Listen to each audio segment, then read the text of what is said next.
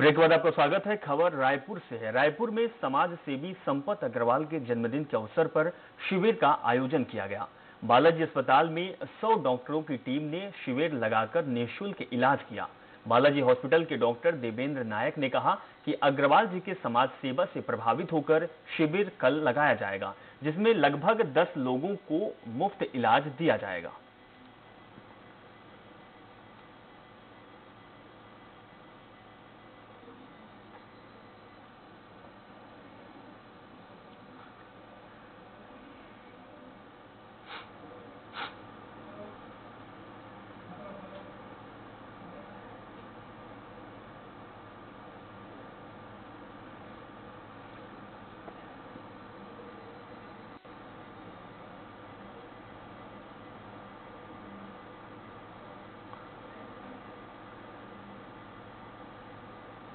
तो समाजसेवी संपत अग्रवाल का जन्मदिन था। इस अवसर पर 100 डॉक्टरों की टीम बनी, जो कि लोगों को निःशुल्क चिकित्सा की इलाज दिया गया।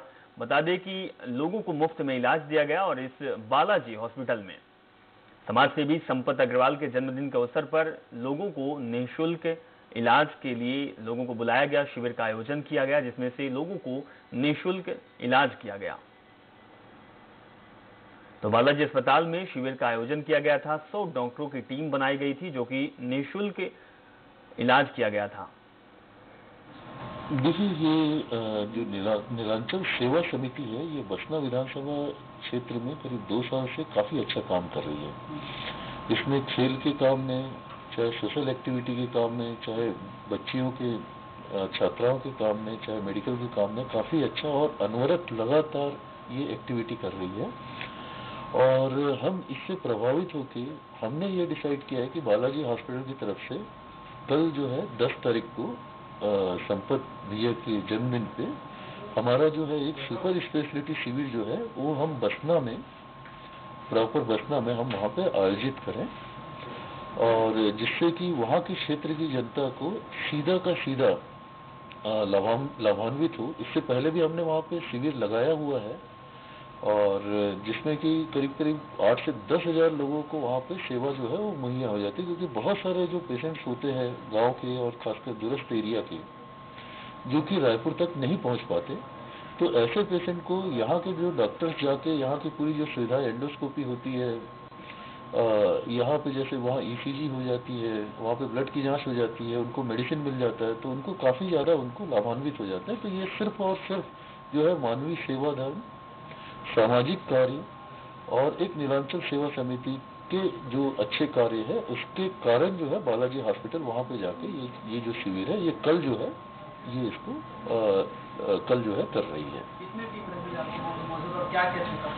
देखिए इसमें करीब करीब जो है तीस से पैंतीस डॉक्टर यहाँ से जाएँगे और साथ साथ स्टाफ भी जाएँगे करीब करीब पचास से सौ स्टाफ जाएँगे।